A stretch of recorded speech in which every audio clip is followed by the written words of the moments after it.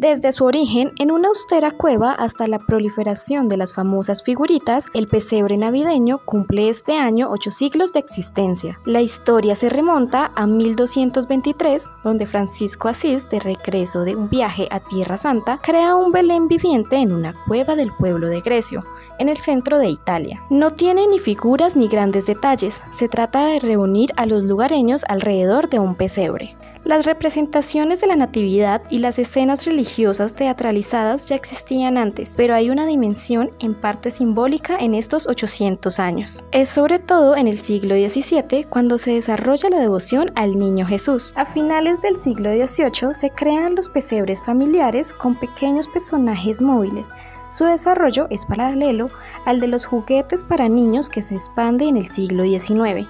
Actualmente esta tradición sigue en el mundo uniendo a familias.